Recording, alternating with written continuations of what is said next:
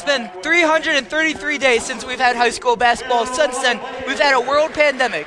We've had two lockdowns. We've had continuous cancellations and postponements of sports. But tonight, we're finally back. We got about 200 fans in attendance here at Lake Orion Fieldhouse for tonight's varsity basketball game between Lake Orion Dragons and the University Ferndale Eagles. Hi, everyone. I'm Derek Steele alongside my partner, Jake Parsons. 16 seconds left. Looks like the Dragons will hold for the last shot of the quarter. Nine seconds left. If I'm Dragons, I'm Fisher. giving it. Five seconds left. Fisher. Over there, McClear. McClear puts it up before the buzzer. He nails it! Before the buzzer, Will McClear! That puts the Dragons up by 12. Knieper with the serve, sends it over, handled by Seaholm. Sends over. Oh, what a save! Number three, Jaden McCauley.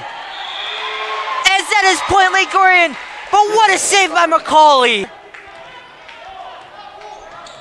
Marshall will take it up, stolen by Ritt, keeps it in bounds. As McClear is able to, Dragons keep it in, find Bryant, sorry, and one! Brennan Jones! Over to Sanders, nice ball movement by the Eagles here.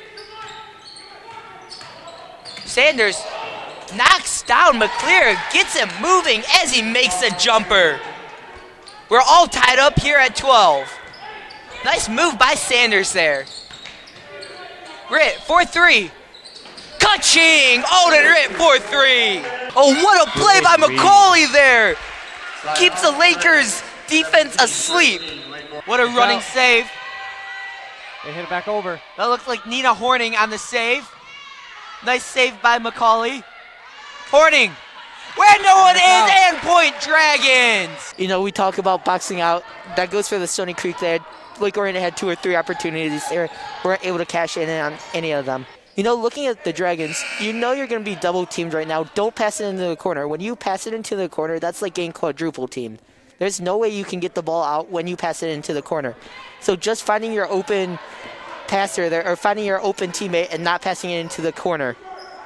Here we go, 8.5 seconds left. Liddell over to Fisher. Fisher's gonna take it up. Can he get a shot off? Finds McClear. McClear. Fisher. He got it off before the buzzer. He misses it off the right iron. As you know, we talk about the Lady Dragons. We've talked about them. It's the turnovers. I think it's really the turnovers in the second and third quarter that killed them tonight. They had too many mistakes. This is going to be a game that they look back on if they make a run, and I think this is going to be a turning point in their season. They fall to two to four. They play Waterford Kettering at home next week. This, I think this is going to be a turning point for them. There's a lot of hard lessons learned tonight, but tough loss overall.